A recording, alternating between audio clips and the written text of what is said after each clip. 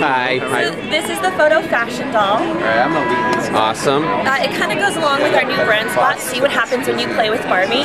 This is a great item for girls who love fashion, who love Barbie, but maybe want to be a photographer, maybe want to be a model, a fashion designer, or just love electronics.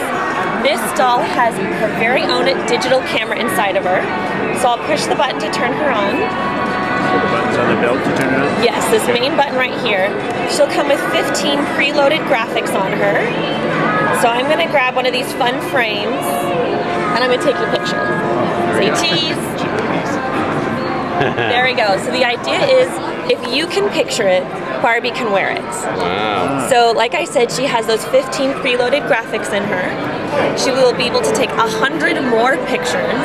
And she comes with this pink USB cable, so girls can plug her into the computer, recharge her batteries, or if they want, upload those pictures to the computer, further design them, further create them, and if they want, download them back to Barbie. And then she has a nice slideshow feature on her, her t-shirt, so she can show her family and friends all the um, pictures and graphic tees they've made throughout the day. Okay. Very and cool. And she could also pull pictures off of whatever the photo library is that the child might have on the computer. Okay, very good. Do you know what kind of resolution we're talking?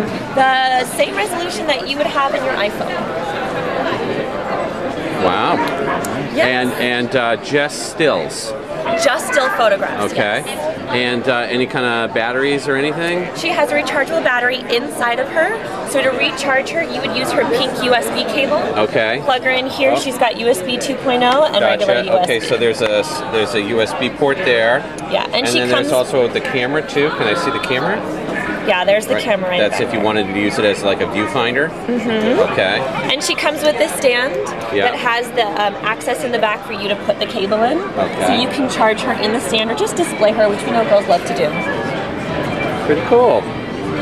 Oh, um, and the cost again? Suggested retail, I believe, is $49.95, $50. And when will it be available? Fall of this year. Well, this is great, thank you.